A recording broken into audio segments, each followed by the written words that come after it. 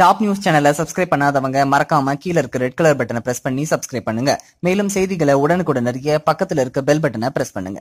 திண்டுக்கல்லில் இன்று செய்தியாளர்களை சந்தித்த பாஜக தேசிய செயலர் ஹெச் ராஜா கூறியதாவது தமிழ் என்ற சனியனை இருக்கக்கூடாது என்று ஈவேரா பேசியதற்கான ஆதாரம் தம்மிடம் இருப்பதாகவும் தமிழ் மொழியை இருக்கக்கூடாது என்பதற்காக தமிழர் மீது திணிக்கப்பட்டதுதான் திராவிடம் என்றும் தெரிவித்தார். இந்த உண்மைகளை மக்களிடம் எடுத்து சொல்வதால் தான் என்றும் ஹெச் ராஜா தெரிவித்துள்ளார்.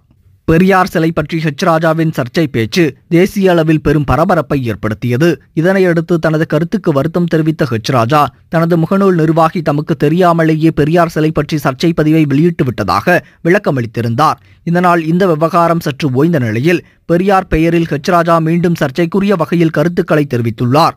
தமிழ் என்ற சனியனே இருக்கக்கூடாது என்று ஈவேரா பேசியதற்கான ஆதாரம் தம்மிடம் இருப்பதாக அவர் கூறியுள்ளது. தற்போது பெரும் பரபரப்பை ஏற்படுத்தியுள்ளது.